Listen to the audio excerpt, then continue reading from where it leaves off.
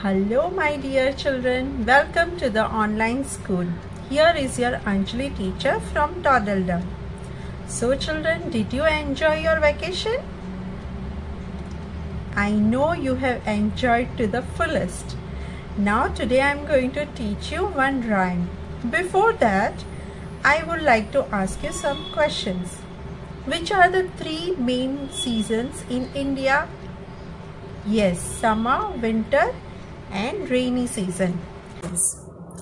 In mid-season, the sun is shining so brightly and you feel to drink lots of water and cool cool juices.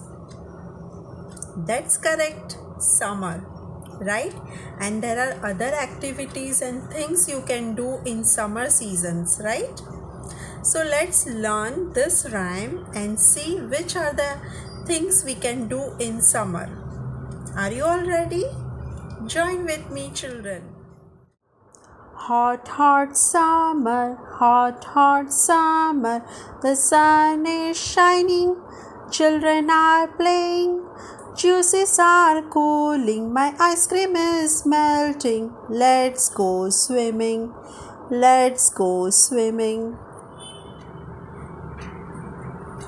Hot, hot summer, hot, hot summer, sun is shining, children are playing, juices are cooling, my ice cream is melting. Let's go swimming, let's go swimming.